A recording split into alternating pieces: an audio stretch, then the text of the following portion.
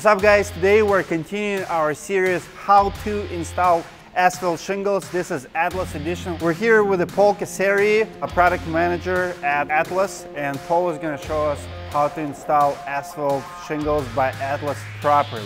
That's right.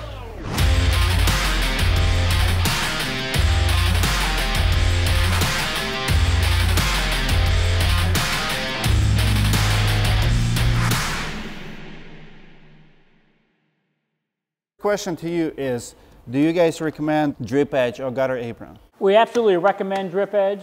It's not a requirement for our installation, but for best practices, we absolutely do recommend. So it's not going to void the warranty? It will not void the warranty. Okay.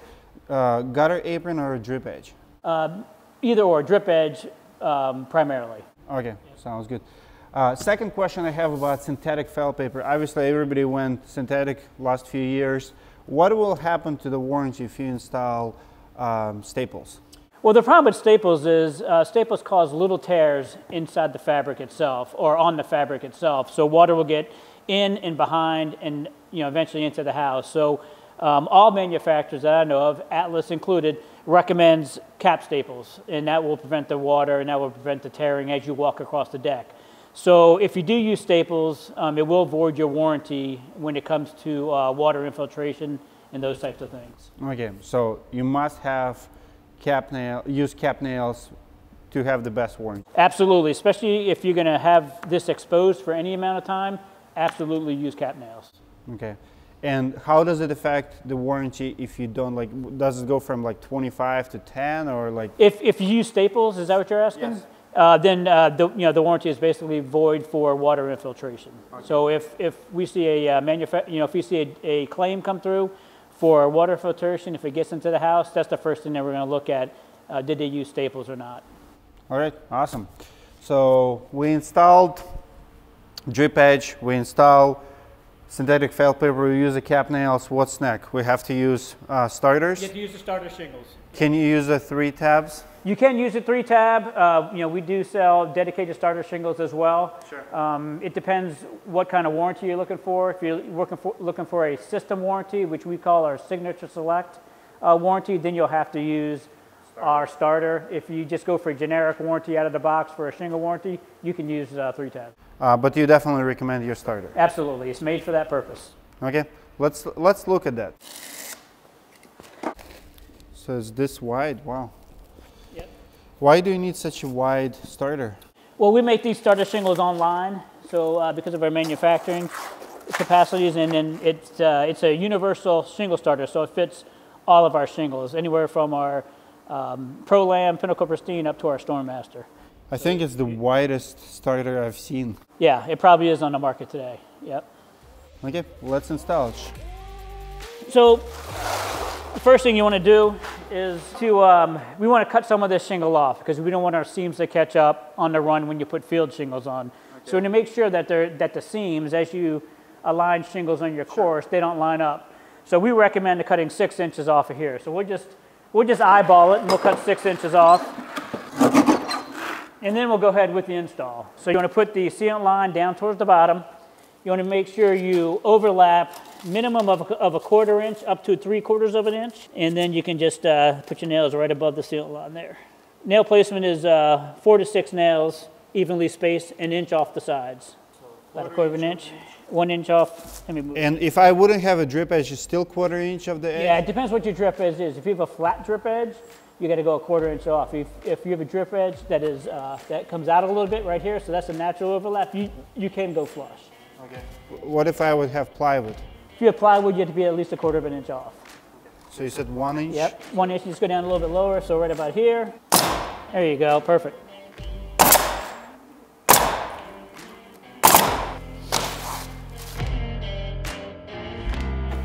Oh, damn it, I'm gonna smack my head again on this damn thing.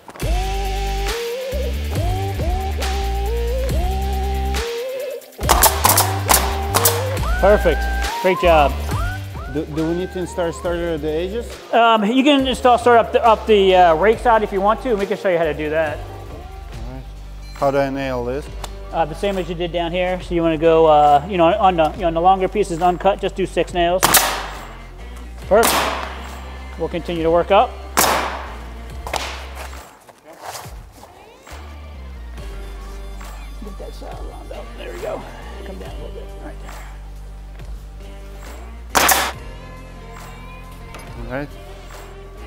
Finish it off.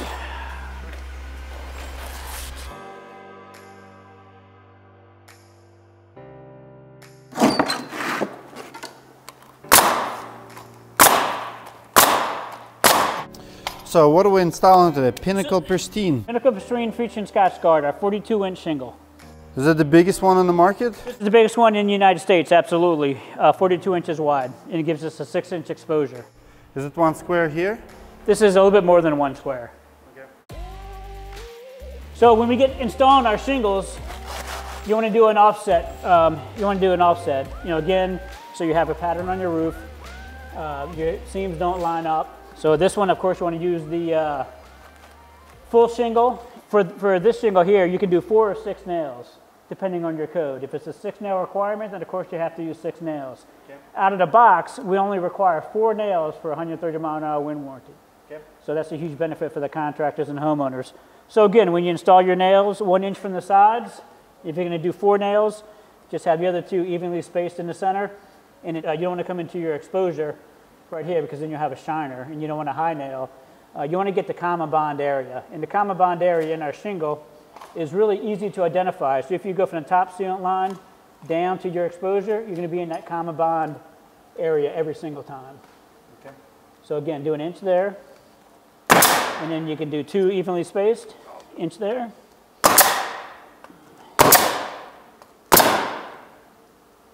Three.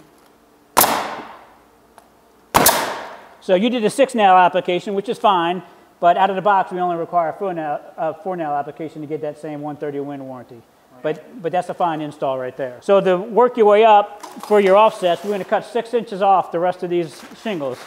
Well, we, can- we can go down. Let's go down here. So let's on this one, let's put four nails in. Okay, and this one, now you install a flush, right? Yep. Flush with the starter. There you go. And two more evenly spaced.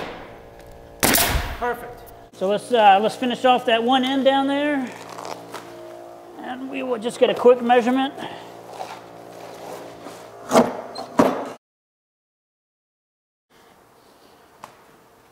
There you go. Perfect. I have a question.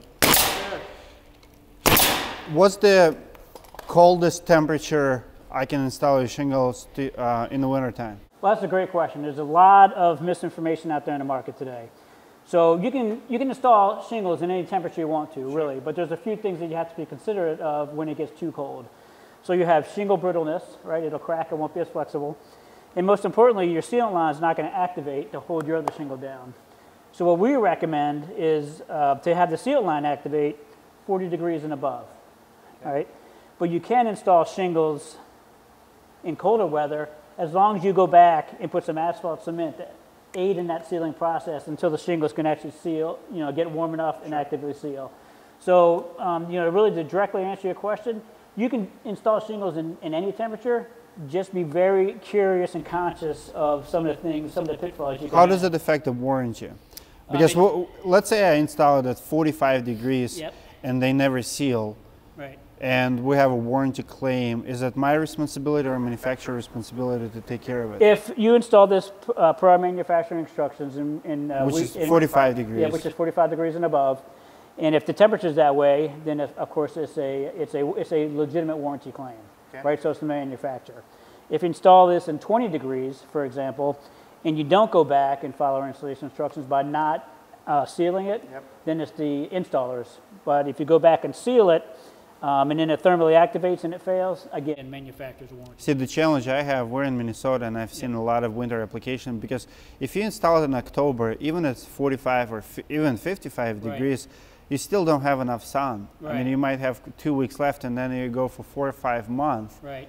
Technically, you do it right, but you still have a risk. I mean, you have a risk. Yeah, absolutely. You know, we use a very aggressive sealant line. Okay. And in the way that we're sealing actually back to the back surface. So will it seal at 50 degrees? Absolutely. It will. Yeah, It'll, I mean, it's, it's going to take a little bit more time. Usually in the, you know, the summertime, they could be sealed by the time you get off the roof, right? Sure. You know, in, you know, in the wintertime, if it's 45, 50 degrees, it's going to take a little bit longer, but it, you know, it, you know, it's going to thermally activate and seal.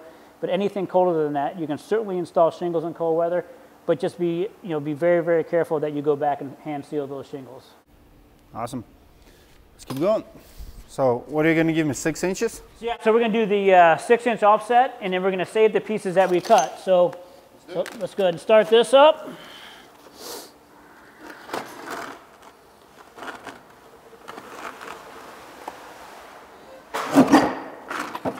So here's your so here's your first piece, and, and you know, simply we just took six inches off of it, Sure.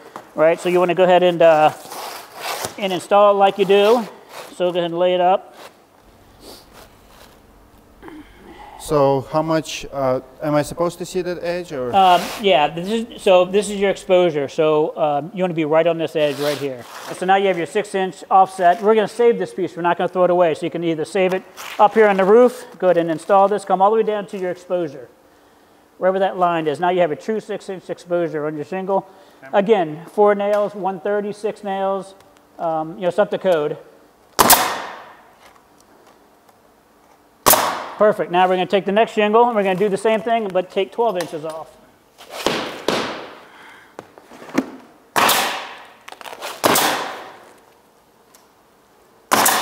Perfect. Let's finish it off. So and those starters, go, this starter is gonna go here, right? Uh, the the uh, we're gonna, we're going to save the smaller pieces. Got it, got it. Work up from big to small. Got it. Just take both of these. I forgot which one it was. Might be that one right there. Yeah, so you know we finished that course off, which is fine. But you know, you know what we want to happen is to really to do your offsets first, and then do your courses going down the run. It just makes it a lot easier for the installer. So let's take that. So we uh, so here we took the uh, 12 inches off. So we'll put that up there. Here's our six inch piece. We'll throw that right there.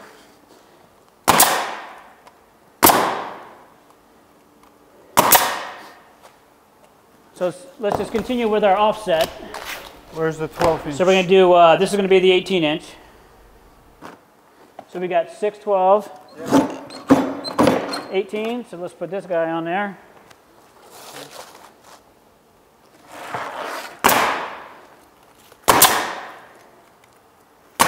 So now what you wanna do is just reuse your pieces. So again, now you wanna start with the big piece, because the way it fits Yep. and line this up, and this is going, going to uh, alleviate you throwing all this stuff in the dumpster. So put you can you can probably get away with three nails here, and then I start with the 12 inch piece.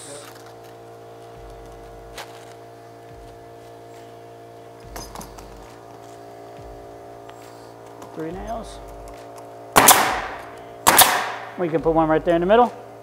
And then lastly, you're going to have your six inch piece. We don't want to throw that guy away. We can reuse it. And I usually tack one right up here just uh, to give it a little bit more protection in the wind. So now you have a seven course, one, two, three, four, five, six, seven course, six inch offset. You're not throwing anything away. And then you're going to go your courses right down your roof like that.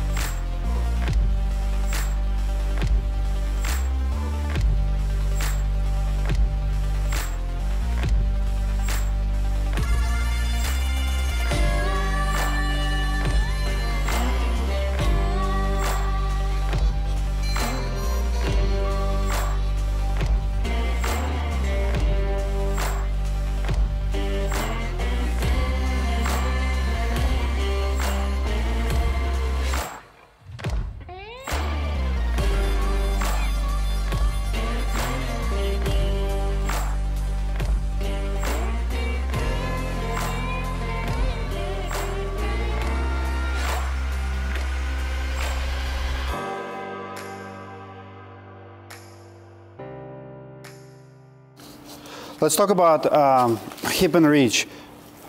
So you have the same hip and ridge, I guess, for most of your products, or Yeah, we do. And, you know, what we do, we put Scotchgard in all of our hip and ridge, so, so it matches our product. To stay with the Scotchgard warranty, you have to have Scotchgard hip and ridge. You need Scotchgard on, on all your exposed components. okay? So your, your field shingles and your hip and ridge. So we put it in all of our hip and ridge.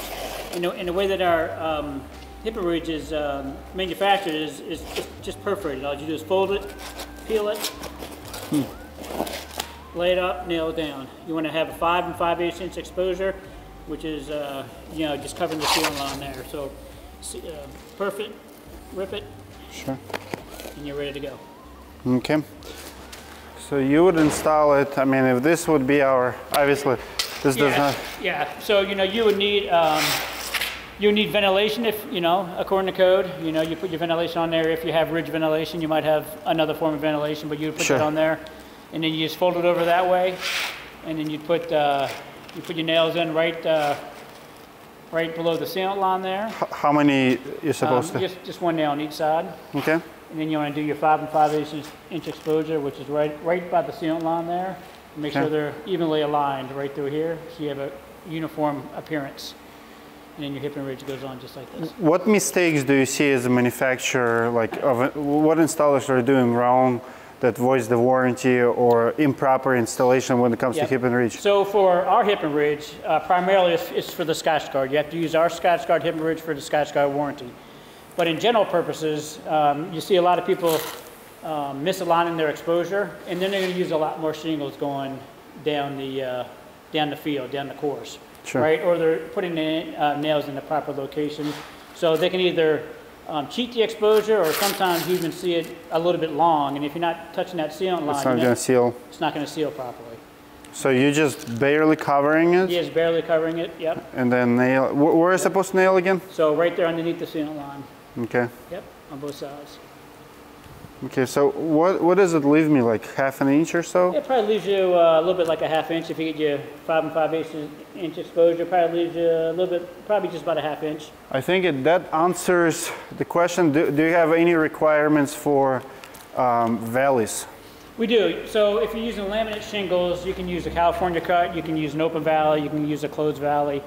Um, What, what, what's recommended by you guys? um, any any of those three is fine. Doesn't matter. But what you can't use is a weed valley with laminate shingles. You can't. It, you cannot. It just doesn't. It, it doesn't overlay properly. So um, be, because of the nature and the um, aesthetics of the shingle, it's not going to lay flat, and you'll get water underneath that. So Can you in, in wind. can you overlay architectural shingles over three tab without removing three tabs to get your warranty? You can absolutely. You can. Yep, yep. So uh, you can put it's over one layer of three tab shingles. Okay. Um, it's critical. They have to be flat, so they, and they have to be repaired if they're damaged, if they're curling. It has to be a flat surface. Um, and you have to uh, pay attention to your nail size as well because you're going through two shingles now. You have to make sure that nail penetrates an eighth of an inch into the bottom side of your deck. Okay. So make sure you use a longer nail. Which is well, inch and a quarter will, penetrate at least that. But it's just something to be conscious of. Sure. So, you know, when you're going through the double laminate or single laminate and going through a through a three tab, you know, you don't. But it's not going to avoid the warranty. It's not going to void the warranty. Okay. Um, But again, it's a single three tab, in good condition, um, according to all building codes, laying flat, those types of things. So if it's 20 years old, 20 year old roof, you don't have to remove it. You can lay over. That's right. The warranty will be there. Yep, Interesting. absolutely. Okay. I think that answers most of my questions. We covered the valley. Any recommendation on the penetrations, like if when pipe boots, vents like that?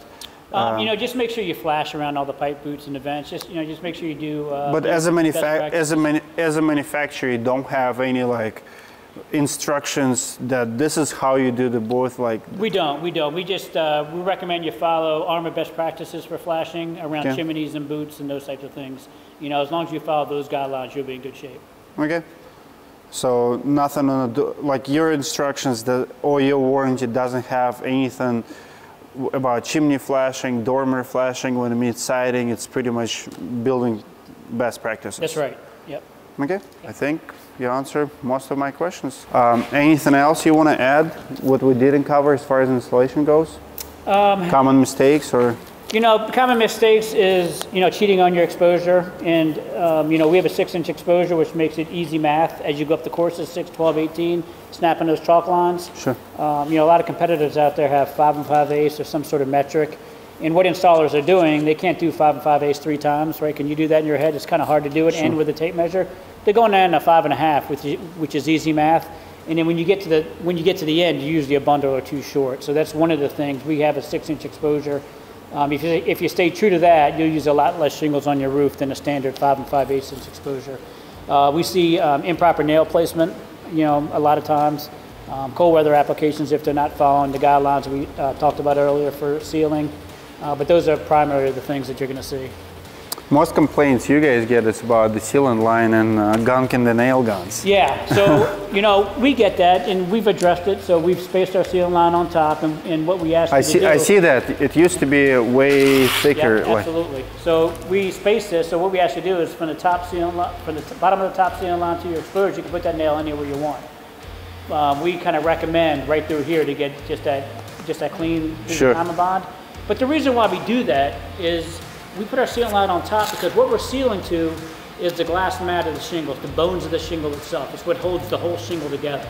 So we're not saying that we're going to have our uh, sealant line sealed directly to granules because we know what happens to granules over time. Sure. Right, you walk on a roof, they fall off, right, they come off. That's what happens when shingles age. Um, asphalt oxidizes, the granules come off, and if you're sealing directly to granules, you're gonna, it's gonna be less and less effective. We're sealing thermally bonding right to fiberglass. So you get that true bond every single time, and that's why we do it on top. We do a lot of testing here at our technical center in our wind tunnel here right next door to us. Um, you know, you know that proves that case every single day. You know, so you know we just go the extra mile. We put two two sealant lines on there just for extra protection, and that really what gives us our advantage to offer four nails at 130 mile an hour wind warranty. Okay. Awesome.